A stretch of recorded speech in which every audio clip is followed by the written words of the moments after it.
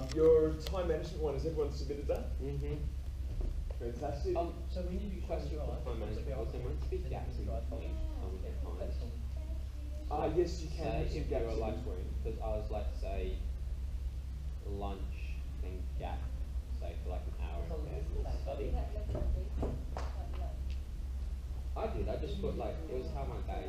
Okay, it's it's up to you. It's a tool to serve you. Okay, so if you find that that's good, that's helpful. If you find that you're, um, you're you don't have time for lunch, you're skipping lunch, then I would say yes. Make sure you put it in. Yeah. I think for these ones, It's it's satisfactory. satisfactory or not yet. Satisfactory. Fantastic. Right, if I speak into this, just let me know that I need another coffee. I need to go here. Um, okay, so before we start, am I already on?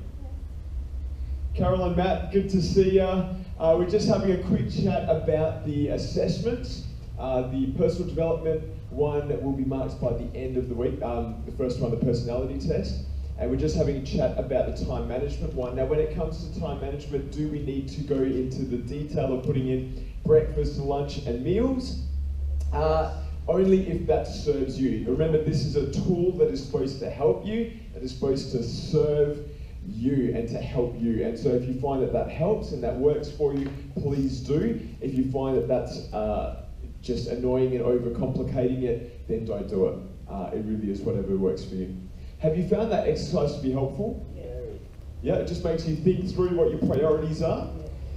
All right, so we are in, and am I still in view of the camera? It's all right, no need to move or anything like that. Cool. Uh, so we are doing which topic? Fasting and rest. Okay, what what unit are we doing? Personal development. Personal development. You're right. It was that was the topic. Personal development. What is personal development all about? Christian disciplines. Building Christian disciplines. Fantastic. Well done. What are Christian disciplines? Uh, rules we have in place to discipline us in our godly lives. rules we have in place to discipline us in our godly lives. Look, uh, that's there is some validity to that. Um, it's not the terminology that I would use because that tends to be like a you know uh, I know Dora when she was in Singapore they had in their schools a someone that their job was called discipline master. Uh, to enforce discipline, uh, and so that's the type of image that comes to our mind. Whereas we know that that's not actually who God is. And God does discipline those um, those that He loves, but uh, in that context, I wouldn't probably would uh, I'd use a different terminology. What are Christian disciplines? When you hear that word disciplines, is it supposed to be punishment that comes to mind, or is there another another phrase? Yes, absolutely.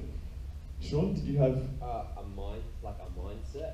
a mindset? Yes. So, yep, you're right. Guiding, steering.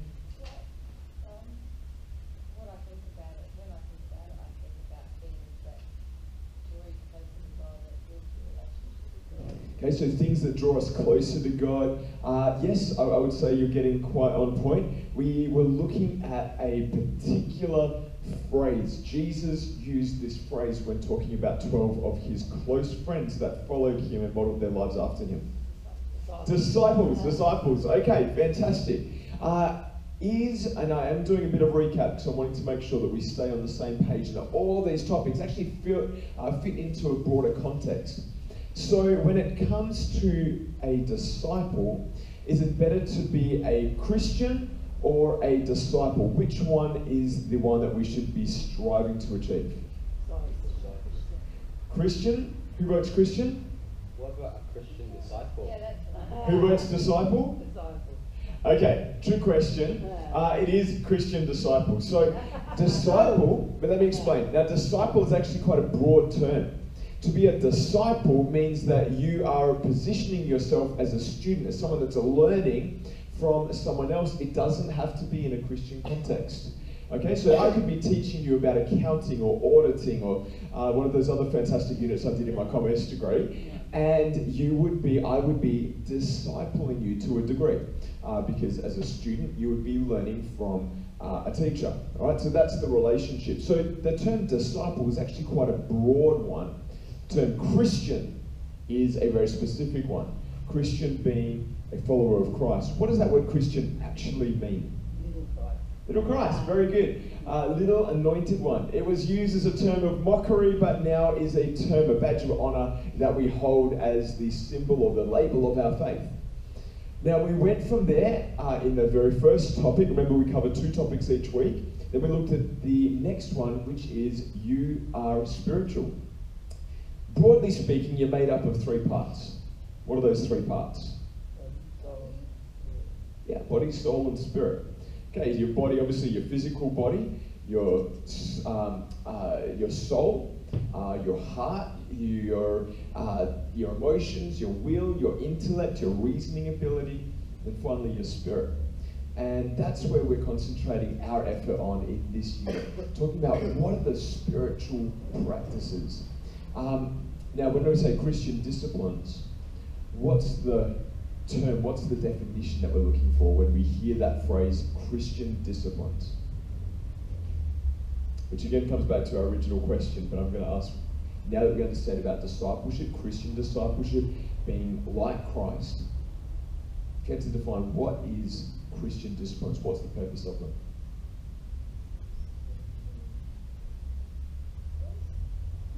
Spiritual practices that position us in Christ.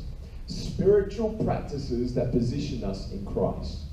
So when we're talking about all these different topics, we've looked at the sacraments, and we looked at worship, we looked at gratitude, we looked at time management. Uh, we've got another 20 or so that we're going to touch on throughout this semester, and in your book there are even more.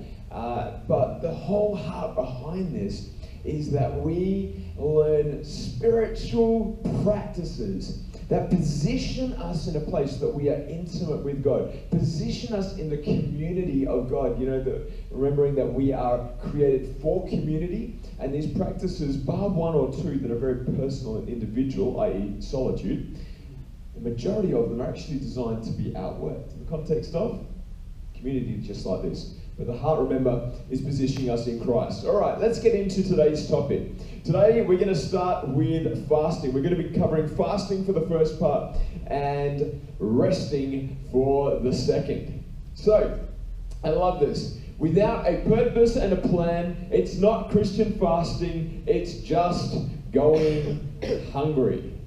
Now, where does fasting fit in the context of Christian disciplines? Remembering that we are on a journey to become the person that God's created us to be. Everything we do is an expression of our spirituality, and Christian disciplines position us so that God can transform us. Let's have a look at Matthew 6, verse 16 to 18. Who's going to read that for me? You've got it on your PowerPoint if you want to cheat. Oh, when you fast, do not. Oh, hang on, hang on. Does it start with if you fast? When you fast. Okay, we're going to pause you there. I'm going to let you read in a minute. When it comes to fasting, it's not if you fast. These are the words of Jesus, by the way. These aren't, uh, you know, th- these aren't just from the bibliography in the back of your Bible, not from the concordance. These are from the words of the Messiah himself, and he says, "When you fast." You know that fasting is supposed to be part of the Christian life. Sean, I'll stop interrupting. I'll let you finish. No, no, it's you're closing. When you fast, do not look sober as the hypocrites do, for they disfigure their face is to show others they are fasting. Truly, I tell you, they have received their reward in full. But when you fast, put oil on your head and wash your face, so that it will not be obvious to others that you are fasting, but only to your Father who is unseen, and your Father who sees what is done in secret will reward you. Okay, so Jesus is passionate about fasting. He gives us instruction, uh, he commands it, he expects it of us, he wants us to fast. Now, when it comes to fasting, there are two sort of extremes that people go to. Uh, firstly, we have, uh, and I think this quote from John Wesley really sums it up. Who knows who John Wesley is, by the way? Oh, yeah, I know, he's, um, I just remember he's, he's written all those um, songs. Yes. Had I, a lot of hymns or something. yeah, I'm sure he was. I, that's not how I know him, but that's also because I haven't done a whole lot of research on him. the um, church of Yes. uh, Reform or something? Is Reform? The Reformed, not the Reformed. Up, you were, you're on the right track. You're on the right track. It was a you know, in many ways a reformation. Who, what, what denomination did this man start? AFG, was it? No? It wasn't AOG, although the Pentecostal movement did come from this movement. A lot of people trace it back. John Wesley started the, for 100 points. Hillsong Church. No, that was Brian Houston, but look, we'll go with it. He started uh, the Methodist movement. All right, so you can research that amazing uh, new move of God in its time.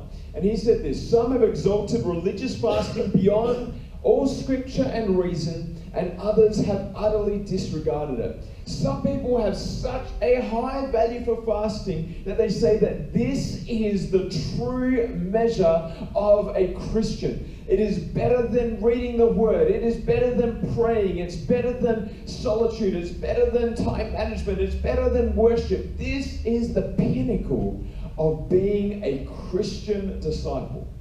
One extreme. The other extreme is, I know fasting's not for me. I I, I, look, I'm happy to go to church. I'm happy to, you know, to, to read the Bible every now and then. I'll, I'll get my app and I'll get my word of the day, which I'll read, you know, once a month. Uh, at- but, but definitely fasting, you know, don't, don't touch my food. Don't touch my food. And we've got these two extremes. Now, Jesus doesn't elevate fasting above all other spiritual practices, but nor does he disregard it and say it's irrelevant. He says, when you fast, he expects us to fast, but let's make sure that we keep it in the context of where it is. So, what is a fast? It is the self denial of normal necessities uh, in order to intentionally attend to God in prayer. Bringing attachments and craving to the surface opens a place for prayer. This physical awareness of emptiness is the reminder to turn to Jesus, who alone can satisfy. And fasting is a voluntary act of giving up something, mostly food or drink, to seek God in prayer. Fasting is sacrificing something so that we can gain something else. We're going to talk about what we gain in a couple of moments' time. Let's again have a look at the screen here. Why fast? What's the big deal about it? Well, firstly, we understand that Jesus modeled fasting. Uh, in Matthew 4, verse 1 to 4, what did Jesus do in that account? went into the desert. Yes, he went into the desert for 30 days, right? 40 days. 40 days, yes, just making sure we wait. Last session today. But 40 days he went and he didn't eat, he didn't drink, he was tempted in the desert, he fasted and he prayed. Little, little thing, I'm not going to go into great detail for the rest of it, but please understand that it's not just about fasting, it's when the practice of fasting and the practice of prayer are put together that we have great power. Fasting and prayer together, yeah. Isn't it when you fast, you take what you're fasting and place that in prayer instead? Yes, usually that's the way. Um, and, and yes, that would be the encouragement. Uh, it, it will make a little bit more sense when we have a look at, uh, at the, what we gain from fasting. All right, so Jesus modeled it. Jesus assumed his disciples would fast. We've already covered that. When you uh, when you fast, Jesus' disciples actually did fast. They didn't just hear the word, but they were blessed because they did the word. And in Acts 13, verse 2, as well as the other references, it specifically talks about when the disciples did fast. And it positions us to participate in Christ, to be transformed. It is a positioning, it's a spiritual practice that brings us closer to Christ. All right, what's the purpose of fasting? Broadly speaking, uh, awareness. All right, so Acts 13, verse 1 to 3 is an account about when the, uh, the people of God fasted. And as they fasted, the Holy Spirit spoke to them. They laid hands and they sent out. There is an awareness that takes place. All right, right now, I want you to close your eyes. Hands down, eyes closed, no one looking around. This is like youth group when we're trying to do salvation old school, honestly. So many times I spent like 15 minutes just trying to get the kids to close their eyes. Okay, you cannot see anything in this moment. One of your senses has been taken out. Obviously, we're talking about your vision. What are you noticing about your hearing? Uh, the air Yeah, it kind of is loud, absolutely. Yes, okay, it's cold. Uh, Not musky air. mhm, Using smell. Keeping your eyes closed for a moment, we're going to really draw this one out. What's going on? Um, well, you're talking. Mm-hmm. A- As are you, Sean? Wait, so we're in s- like silent, silent? No, no. Just all I said is close your close your eyes. You can talk. Sarah, you were saying? You become more focused on what Okay, great. Open your eyes. When you dull one sense, your other one's working overdrive. It's a little bit like. Have you ever um? Uh, uh, Driven a car with headphones on. Okay, one example. Uh, I know when um, one of the things I like to do when I go swimming is, uh, particularly as a kid, is go up to the little jets of water that come out, and when you block one, more water comes from the other jets. Has anyone done that in a pool or a spa? Yeah. That's what fasting actually does. It's a blocking, it's a sacrifice, it's putting a stop to one area of your life and concentrating or aligning or focusing your energy uh, on your other senses. And in particular, what we're trying to do with fasting is activate not our smell, not our taste, not our hearing, but our spiritual senses. All right, and that's what the, uh, the thing about fasting does. So, number one is it creates awareness, helps us to become aware of the Holy Spirit, aware of His voice. That directly leads to the next point, which is it creates intimacy. Now, Jesus and uh, John the Baptist's disciples were having a conversation one day. Uh, in fact, Jesus and, and John the Baptist's disciples were having the conversation and saying, Hang on a minute, how come we have to fast? This is John the Baptist's disciples. How come we have to fast? And Jesus responds to them and says, Hey, look, the time's coming when my boys are going to have to fast as well.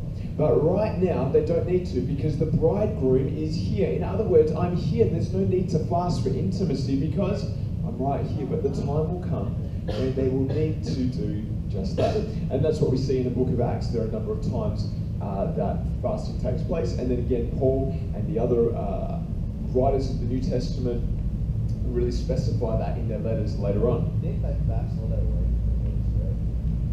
Did they fast? Uh, great question. Uh, not sure. Check out check out Acts chapter one, and um, if you can let me know next time, that'd be great. I'm not going to give you an answer that I'm not sure of, so let you do a bit of homework. Absolutely, after class.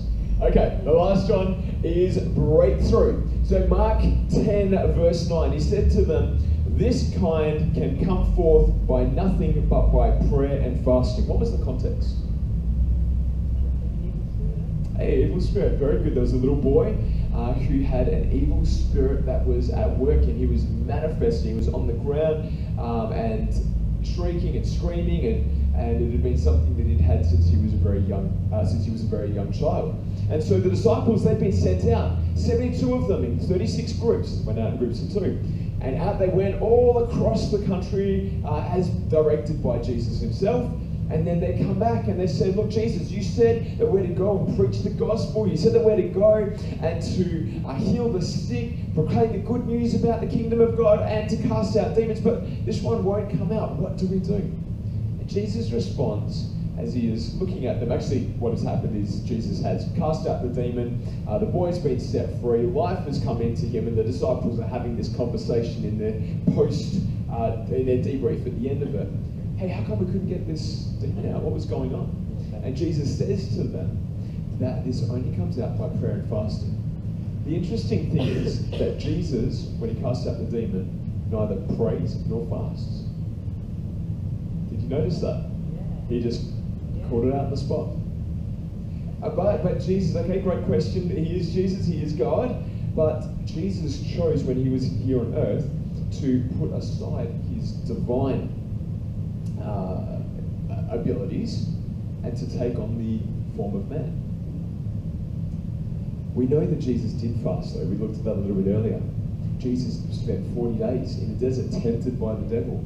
He prayed and he fasted. I believe that as we pray and we fast, that we actually build up our spiritual muscle, our spiritual credibility, so that when we pray, uh, we declare things, when we drive out the demons, whether it be manifesting over a, an individual uh, or whether it be over a geographic area, that there is an authority, there is a power, there is some spiritual muscle that comes from having been in the place of breakthrough and prayer first and then seeing it come into reality. And fasting helps us with that. Why? Because it switches our awareness on, it focuses our energy onto our spiritual senses. So there's great power in fasting, great significance in it. Uh, I spoke to, we had the supernatural course last night, and we were talking about deliverance and uh, some you know juicy stories that people were sharing, and I was sharing as well, and you know all good fun. Certainly kept everyone awake and sharp and alert. Uh, but we were talking about how when it comes to the angelic or the demonic realm, remember that demons are fallen angels, but there is a hierarchy that we see at work. We see in the uh, angelic side, we see the archangel Gabriel. Uh, and the fact that he's mentioned as an archangel means that there is a recognition of hierarchy in the spirit. We know that the centurion, when he wanted to get his servant healed, he came to Jesus and said, "Look, my servant's unwell. Can you come? Uh, can you can you heal him?" And Jesus said, "Yep, I'll make my way there after I finish ministering here." The centurion said, "No, no, no. I understand authority. All you need to do is say the word, and he will be healed." And he was healed in that moment. Jesus said, "Wow, I'm amazed by this man's faith." He said, "I understand authority." There's an authority structure. And so when it comes to praying and fasting and seeing deliverance, seeing breakthrough, uh, there is something that is won in the spiritual ground through prayer and fasting. Not just fasting, not just prayer, but prayer and fasting together, concentration. So those are some of the purposes of fasting. Any questions so far? Great. What type of fast can we do? I want you to have a, uh, give me some thoughts. What are some of the fasts that we can do? Chocolate. Well, let's not start at the top level, hey? chocolate, yes. So you can choose a specific type of food. Uh, so chocolate, um, coffee was hard. Facebook, okay, yes. Social media, contemporary fast. Is that real fasting though? It was for me. It was. But Jesus never said fast Facebook. No, but it's something that will be a Right. sacrifice. And he was like, Okay, so when we are engaged profusely on Facebook, yeah. it um, it becomes an expression. It becomes part of you know who we are, how we express ourselves. Anyway, it doesn't sort of become who we are. It shouldn't anyway. If it does, then it becomes an idol. But it becomes a part of our lives. And so to cut that off and to concentrate that energy rather than on social media, but onto things of God through prayer, uh, it does sharpen our senses. Also, it's a great detox for the mind on a practical level. Uh, what are the other ways? What are the ways mentioned in the Bible?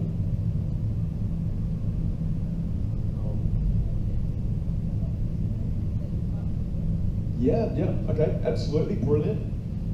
Like I mentioned, the coffee is probably the hardest thing to fast for me at the moment.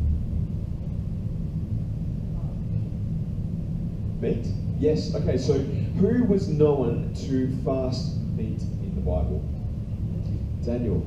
Okay, so Daniel, that was not just a, like a three day or a seven day fast. This was a lifestyle. He said, I am going to abstain from eating, and his mates as well, going to abstain from eating, drinking wine, so you mentioned that, and eating meat.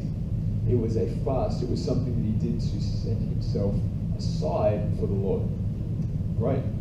So you would have heard the phrase Daniel fast, which is basically a vegetarian fast. That's the purpose of it. No refined stuff. Yep, absolutely. What are some other things? Yes. paleo for a week. Hey? Paleo for a week. Paleo for a week, yes, that would probably be more of a diet, but you know, if it works for you. What's my point? What's my point when it comes to fasting? Um, Can Yep. Oh, well, it's about the intimacy with God. Yeah. With God there. Absolutely. How do you def- how do you know what's a fast? I asked you ask God. anyway. Brings up what's, what's your idol or. It's true. Um, we we are spirit-led people. I think the best way to do it is to actually pray and say, God, would you help me know what to fast? If we're not sure, then choose something, find something, and start that process. It will help us to hear the voice of God anyway. Now, when it comes to hearing God's voice, we're going a little bit off topic, but we will bring it in in a moment. There are four types of voices that we can hear, four sources. What are those voices that we can hear in our head? Our own, so we can hear self. God. Yes, God. So I'm going to call that spirit because this is where they all start with S. Yep, God's voice, our voice. The demonic or Satan's voice. Yes, absolutely. Yeah, the world at large, society or static. It's just that you go, you know, you'll be driving back here. Uh, you might go to watch a movie uh, over the weekend or tonight. You will, ha- or watch TV. By the time you've driven home, firstly, you've seen probably 50 different advertisements, then you'll switch on the TV and you will find, you know, eight advertisements in every break between your commercial.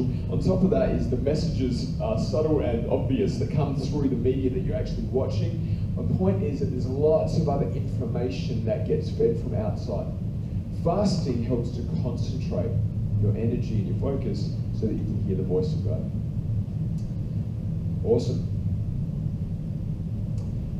All right. Anything else that you would like to know about fasting? Okay, let me. Yep.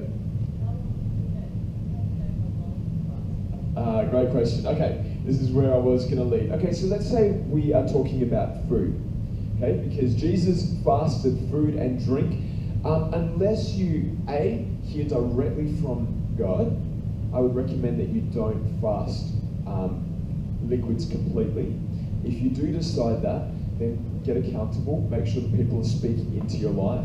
Uh, get the advice of a medical practitioner um, because sometimes, and when it comes to liquid, you're actually your, your, your physical life is at stake there. So you don't want to mess around with that. You want to hear from God and you need other people to say, okay, you need to stop now. Okay? But when it comes to food, uh, there are a couple of different ways that you can fast. Okay, like we said, we can take a little, you know, a meal here or there, or we can take a part of our diet out.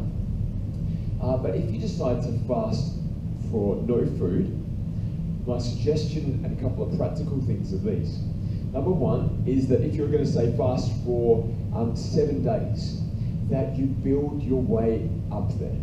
Okay, so maybe start by fasting one meal. Uh, maybe one meal a week, or maybe one meal every day for the next week, and get used to that. And then maybe a couple of days, and then build yourself up to that point that you can do a seven day fast, if that's what you feel God's calling you to. All right, so you've got to be wise to steward this body that God has given you, okay? If you've got medical conditions, Chris, I wouldn't suggest, no, and, and I don't think God expects that of you. All right, so you need to look at what's your physical health like. You need to look at your lifestyle. An elite athlete such as myself, that's my excuse for not doing a full fast. Uh, but you know what I mean? Elite athletes, if that's their profession, they can't afford to fast uh, in that way. Remembering we're talking about developing spiritual, um, uh, a spiritual life. Uh, it's not about trying to replicate, uh, you know, what someone else might have done a 40-day fast. But work your way up there, build your way up there, and do it with accountability what God's called you to do. Now, is it okay to fast? Say you're fasting food, and you become a bit of a grumpy bum because you're craving coffee, you're craving food. Is that how we're supposed to fast? You're supposed to whinge and whine. Oh my goodness. Life is so hard because I'm fasting. Yeah, oil on the face. You suck it up, put a smile on your face, and it's actually a personal thing. It's not about being public. Now, it's not also about pretending and saying, "Oh no, no, I'm not fasting. I'm not fasting." That's not what Jesus is talking about. What he's saying is, don't make a show about it. Don't be showy about it. But talk to your family. Talk to people that are in your life. It's going to affect. You know, don't just come back and if I just came back and said, oh, I'm not eating dinner tonight, Dora, and not tell her why. Uh, firstly, I should have given her the heads up because God is a God who knows things in advance. Uh, unless He's given me a on the spot, I want to start fasting immediately. Of course, we obey, but generally we've got a lead up time. But I need to talk to her and say, this is what I'm thinking. Um, and, and I'm wanting to do a fast. I'm looking at this time here. Um, I'm going to make sure that I am extra deliberate to be loving uh, and to understand that I'm going to have a lack of energy, but I'm going to need to work harder to make sure that I'm not letting that. Yep. Do you recommend a certain type of oil? Olive oil, lavender oil? Uh, whichever one's on offer at Coles in a given week is good. Uh, no, in all seriousness, I mean, I like to use olive oil, uh, but I don't actually put it on my face. Let me give you some example. For anointing oil, I like to use olive oil because you know it talks about in the Bible, and it just helps me connect with you know the oil that was of the land of Israel. But you don't have to. Rice bran oil, canola oil, sunflower oil, anything you like does the same thing because it's the faith that we put behind it. Now let's talk about it when it comes to fasting. Now, today we probably don't need to put oil on our face. I don't see any of the beauty companies advertising, you know, special types of oil that you can rub on your face and it looks all, yeah. What? good for your face. Olive oil's good. Well, that's I've never seen any of the any of the models on the ads. You sleep on. All right, before you go out, okay. I am not here to lecture you on makeup or skincare, uh, but I am here to say, I am here to say that the point is not how you cover your face to make sure people don't see that you're fasting. The point is that you don't make a big show about it because it's about building your faith and your intimacy with Christ. All right, we're going to take a 30 second break, finishing with fasting, and then we're going to come back and we're going to rest. Just turn it off. I can turn it off, yeah. Yeah, we'll turn it off. That'll be good. All right, resting up. Uh, so Stretch. Stand to your feet. Lately, Lately, have yes. You um decided that like most of your sermons and everything you say have to like either rhyme or be in some sort of alphabet. Like Yes, it helps me remember. Helps me remember without looking at my notes. Or start with like Yeah. these, like Corinthians that is. Yes. I'm confused if you had like two different options, like. I know. I need a little, little bit of time. Fine. So the first one is about what anointing service is all about. The second one is a couple of practicals. This is how you approach it. I like- What I probably need is to Yeah. clarify that a bit better. It's good. It's. If I'm doing it this week, I'll make sure I do it, but I'm not sure. PJ's going to cover it. Okay, stretch your hands. Put your hands on your head. Stretch your legs. Pentecostal fingers. Spirit fingers. Uh-huh. High five to the person next to you. High five, Jesus. Fantastic. He's Okay, now let's get into rest. This is a great topic. This is an important topic. This is one that we need to grab a hold of. This is one for you and me, particularly in the busyness of life. Rest. Let's have a look at the biblical context. Uh, we are going to read firstly from Exodus 20, verse 8 to 11. I'm going to ask Ange if you can read that, and Chris if you can read Mark chapter 2, verse 28. Um, you can go to your Bible or it is in your notes, but it is quite small in your notes. Remember the Sabbath day by keeping it holy. Six days you shall labor and do all your work, but the seventh day is the Sabbath to the Lord your God. On it you shall not do any work, neither you, nor your son or daughter, nor your male or female servant, nor your animals, nor any foreign animal in the house. For in six days the Lord made the heavens and the earth, the sea, and all of its but he rested on the seventh day. Therefore the Lord blessed the seventh day. Okay, who knows what the context of Exodus 20 is?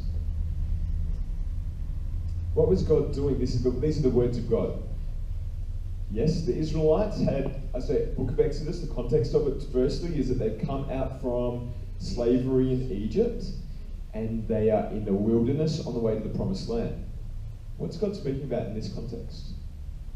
Exodus chapter 20. Very important part of Scripture, very important part of Israel's legal system. God is starting to unpack the Ten Commandments, absolutely. Uh, one of the commandments that God Himself speaks to the people about is you need to have a Sabbath day, a day of rest. Now, this all originated right back when God created the world. Day one, He created. Day two, He created. He worked. Day three, He worked. Day four, He worked. Day five, Day worked. Day six, He worked. Every day He said, It is good, it is good, it is good. And day seven, He he rested. He took a break. God modeled it. God created it. In fact, uh, from the uh, from that book of Genesis, from that that time, uh, our world has modeled its week on a seven-day cycle. This is where it all originated from. Now, if you were to go to Israel, uh, like I let my wife do last year, um, she went and uh, everything was uh, you know amazing. She went, everything was open except for, and tell me if I'm right here, Dora. Are you listening or you got your headphones in? You're listening? I believe that from sunset on a Friday till sunset on a Saturday, that a everything closed down. Is that correct?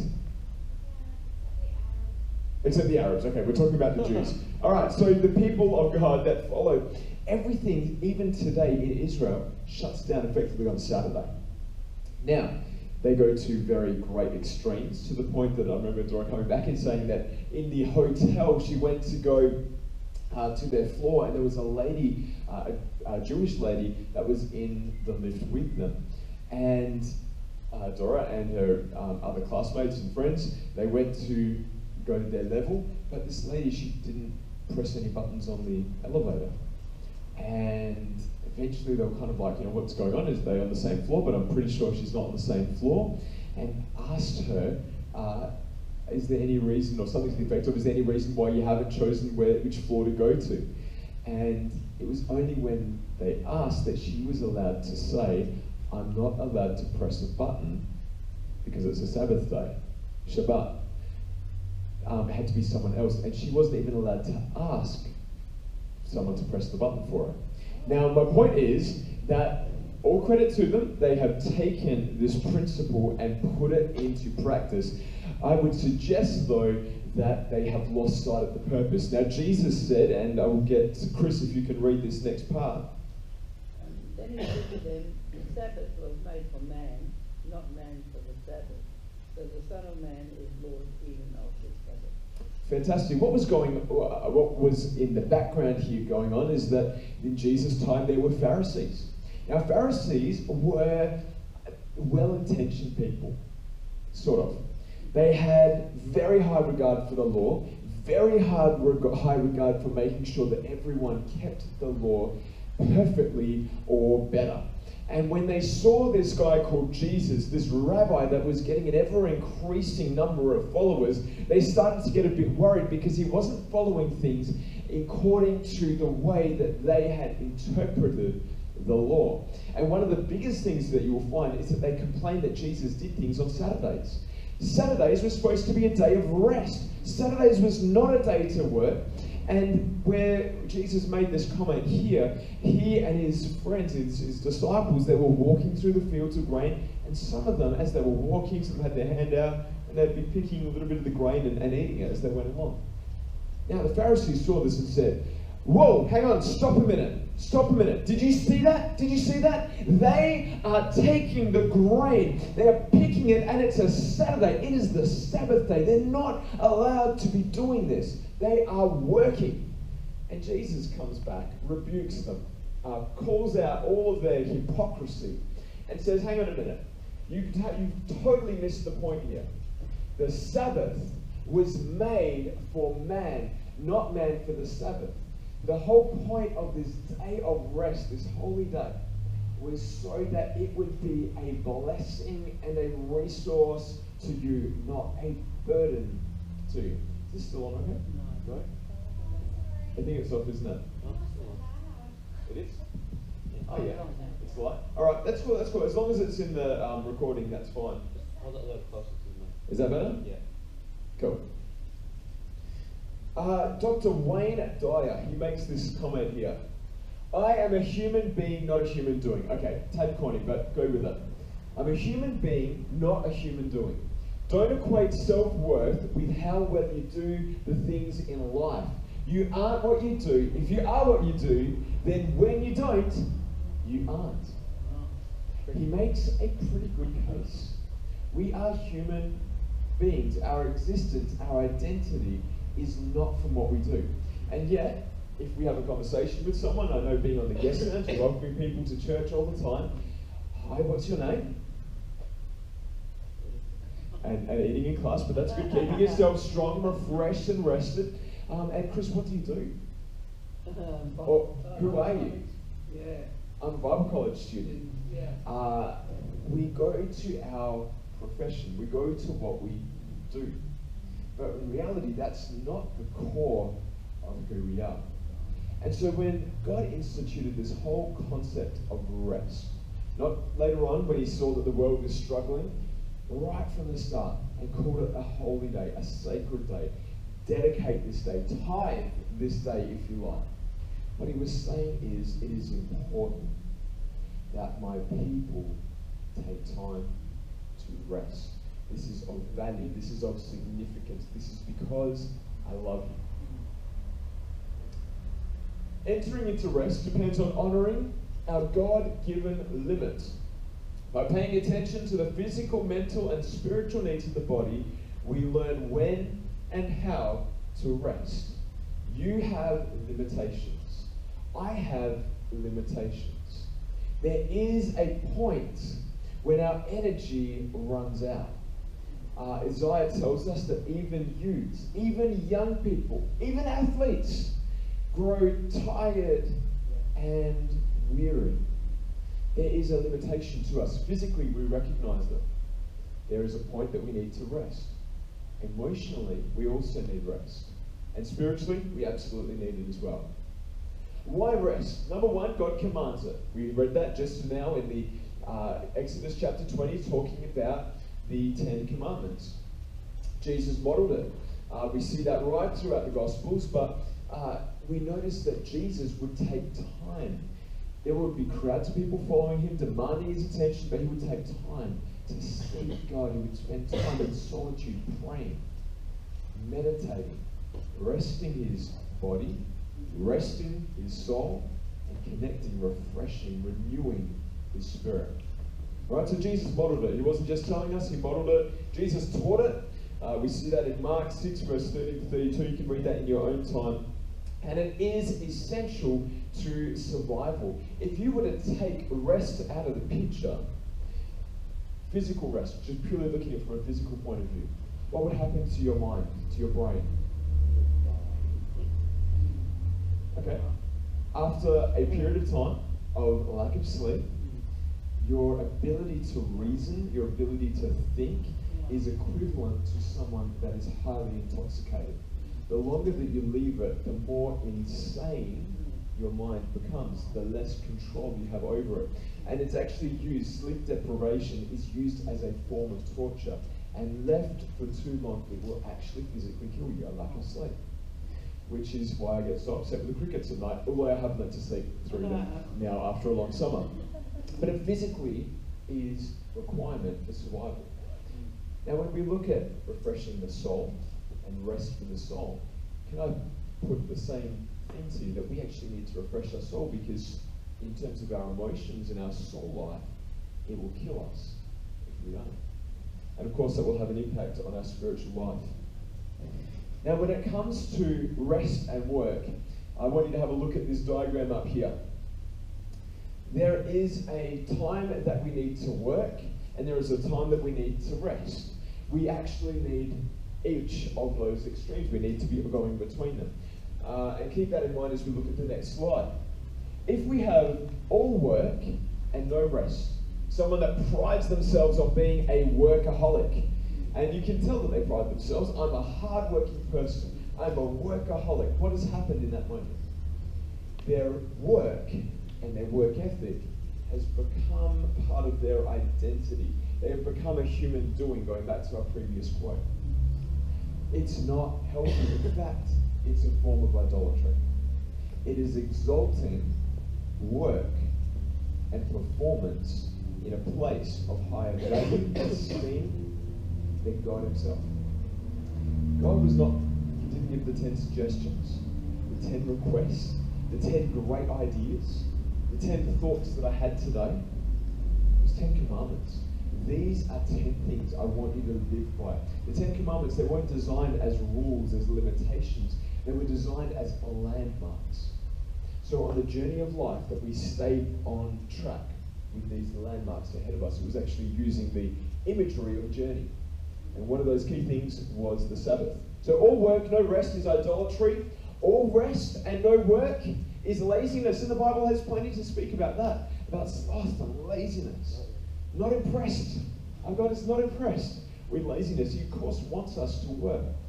Um, in a physical sense, we actually do need to be working. Now, of course, there are certain situations and certain seasons where we can't find work or we can't for various reasons. That's not obviously what I'm talking about. We remember that God is talking about the heart, right? It's not just purely looking at the outward. Uh, we know this because when David and his brothers lined up, everyone else was looking at the outward appearance of man. Like God spoke to the prophet Samuel and said, Man looks for the outer appearance, but I look for the heart. So that applies into all of our Christian disciplines. Let's come back here. All rest, no work. Unemployment becomes a big issue. With unemployment comes a lack of the ability to live to a certain standard of living, obviously, uh, generally speaking. What do we need to strive for? A work rest balance. Now, I would suggest to you that that doesn't mean working half heartedly. But I would suggest that that looks like, when you go back and you have a look at your time management assessment and look at your calendar, that you've got times of work. Um, and study is your work. That is something that you're pouring yourself into, pouring the best of your energy, your talents, your time, your efforts, your intellect, pouring your best into. But it's equally important to have times of rest, times of refreshing, times of renewal. How do we do that? Uh, well, let's firstly get a bit of a picture of what this life that we're supposed to live looks like. I love the message version of this, so I'm going to read it for us. And I want you to think about it. Let these words wash over you as I'm speaking them. Message version, Matthew 11, 28 to 30. Are you tired? Worn out? Burnt out in religion? Come to me, says Jesus. Get away with me and you will recover your life. I'll show you how to take a real rest. Walk with me and work with me. Watch how I do it. Learn the unforced rhythms of grace. I love that phrase. Learn the unforced rhythms of grace. I won't lay anything heavy or ill fitting on you. Keep company with me, and you'll learn to live freely and lightly. Learn the unforced rhythms of grace. So, how do we get those rhythms, those unforced rhythms of grace? Well, we can look at uh, the stresses of our life and we can start to identify the areas where we don't have those unforced rhythms of grace in place. In fact, when we live with a constant state of stress, it becomes a disorder that has a physical toll on us. Uh, if we live in a place of stress, what happens in stress is, uh, and, our bodies are designed for this, there are moments that we are supposed to experience stress. Hormones are released into our bodies, our heart rate is elevated, our awareness and our alertness is sharpened, and we have a surge of energy, and we're supposed to be able to respond to difficult situations, fearful situations, or situations that require us to be alert and sharp. There's a time and a place for stress, don't get me wrong. If that's our constant state of living, we actually expose ourselves to heart disease, we expose ourselves to a whole lot of stress disorders. Physically, imagine, uh, I don't know if you ever uh, had this, I certainly did, uh, where in high school when we had to give public presentations, class presentations, now I wasn't always uh, confident with the speaking and uh, definitely not wanting to get up in front or draw attention to myself. And physically, I would feel sick in my stomach. Now, anyone else relate to that? Yep. Or a situation like that? No, you're good? Ever been time that you're nervous going into an exam and you felt that physical, like it's like a knot in your stomach? Felt sick? Okay. Yeah, crushed. Imagine if that is your constant state of living. It has an effect on your body. It affects your um, nervous system, it affects your muscles, causes you to be tense inside, causes heart disease. That's a long term. My um, grandfather spent three years in a concentration camp. My grandmother, this is in World War II, my grandmother was uh, bombed in, in the London bombings and uh, everyone in the car bar her died. She had horrific injuries throughout her body. Both of them lived with post-traumatic stress disorder for the rest of their lives. Their bodies were in a state of stress. Now, my grandmother had a bit of time to work through that and did recover relatively well psychologically, but my grandfather not so, wouldn't even speak about that period of time. It had a physical toll on him, it had an emotional toll on him. It's not living with those unforced rhythms of grace. Need the healing power of God. Now, let's switch it. If we can learn to do life in partnership with Jesus, uh, the, the NIV version or other versions talk about not to be, uh, that my burden is light, my yoke is easy. Everyone heard that before? Matthew 11, 28? It's talking about, the imagery that comes to mind is that of an ox. And they would, in agricultural times, uh, which certainly was when the Bible was written, they would get two oxen together and they would be yoked together with wood that goes across them, and there would be sort of a plough that goes down the middle of them, and as they walk down the field, this plough would pull up the, um, the ground so that the seed could be sown, or the, um, the old wheat could be harvested, and etc. etc.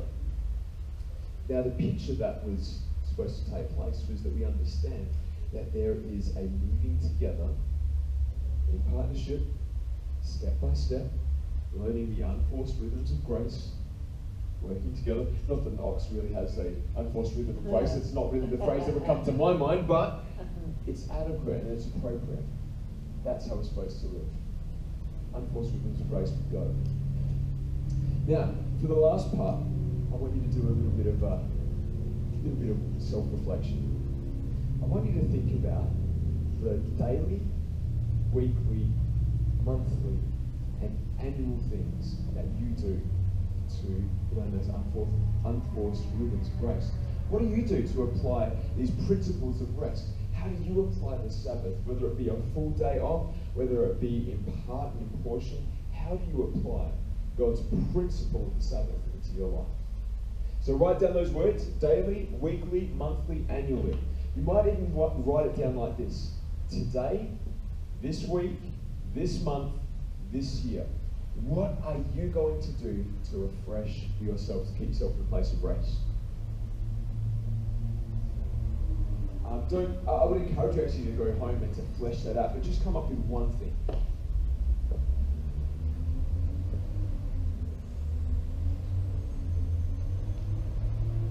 One thing for each. Yeah, just put one, just drop one, one thing next to it. What's one thing that you're doing today, or you've done today, to refresh yourself? What's one thing that you're going to do this week to refresh yourself? What does refresh you? It can be different for each person. Some people get refreshed uh, in amongst a big party, lots of people around. Some people get refreshed by solitude, just taking some time out. You can't put TV on there, by the way. I put my PlayStation. Mm, all right. We'll go with PlayStation. You're engaging a bit more than that than TV. Yeah, I can no, do that. I did. I did. All right, all right. I thought about it.